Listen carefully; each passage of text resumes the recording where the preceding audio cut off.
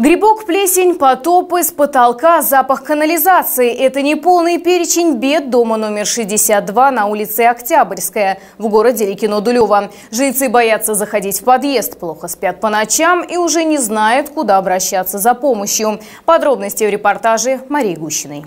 Смотрите, видите, какие вот оттуда дырки, да, там падают. И вот какие булыжники валятся. Конечно, как мы вот так смотрим, идем и пробегаем в подъезд, а дети вот остановятся. Жителям впору запасаться касками. Кирпичная кладка разрушается. Страшно подумать, что произойдет, если вот такой камень упадет с высоты четвертого этажа. И это не локальная проблема. Кладка сыпется по всему периметру дома. Два года уже дворимся.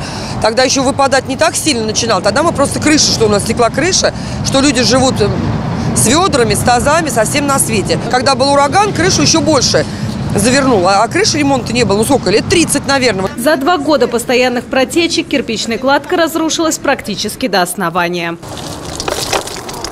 Открывая дверь на балкон, Елена Бакина уже давно боится. Одну пришлось снять. Ее настолько перекосило, что закрыть балкон было невозможно. Кажется, что вот-вот и окнам не на чем будет уже держаться. Закрытое окно и, и залетают синички через эти дырки. У меня здесь замкнула уже проводка. Вызвал я электрика, он мне вот заизолировал. Там света у меня нету. А это квартира соседа. Натяжной потолок весь в проколах. Владимир Кошелев с супругой живет без электричества в основной комнате уже месяц. Включаешь, и пробки автомата вышибает. Я хорошо хоть новый автомат со счетчиком поставился. Представляете, я по 7 ведер воды в день выносил. У меня целая ванна вот тут стояла. Про косметический ремонт жители уже и не думают. Делать его бесполезно. Говорят, выжить бы, чтобы не обвалился потолок. Видите, что творится? Вот оно все.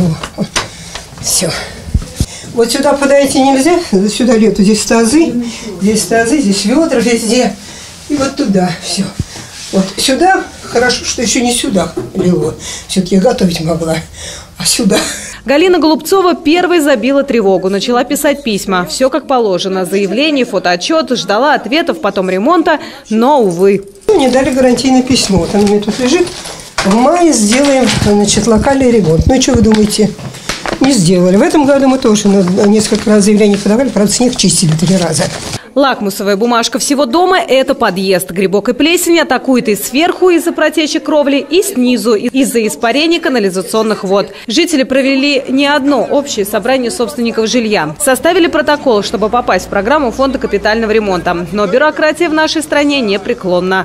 В реестр этого года дом не попал. Так решил фонд. Они у нас э, стоят, э, можно сказать, в самой главной программе по кровле и по фасаду. Здесь есть отметка о том, что они приняли вот письмо, эти документы уже отданы в фонд капитального ремонта, и на следующий год, на следующий год, я надеюсь, потому что постарается наша администрация, и мы в том числе, чтобы на следующий год они были включены в программу. Пока же ремонтные работы на доме будут иметь текущий характер. Что же касается осыпания кладки, то, по словам Марины Гусевой, уже на следующей неделе на дом выйдет подрядчик, который будет делать стяжку. Дырки временно зацементируют. При необходимости повесят строительную сетку, чтобы исключить падение кирпичей с высоты.